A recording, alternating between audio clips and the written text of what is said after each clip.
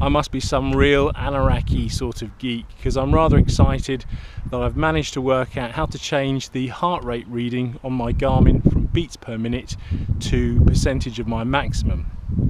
Now why is this interesting? Well it's all to do with heart rate zones and the benefit that training within those zones can give you.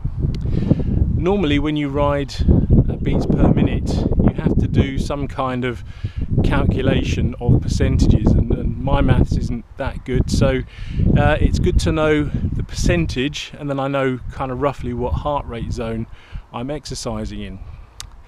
Uh, heart rates themselves in beats per minute can be slightly misleading because different people can have different heart rates when exercising at the same level. Some people have a, a naturally high heart rate, some people have a naturally low heart rate the only true indicator you, when you're using beats per minute is is when you're at rest. The lower your heart rate uh, while you're resting generally the fitter you are.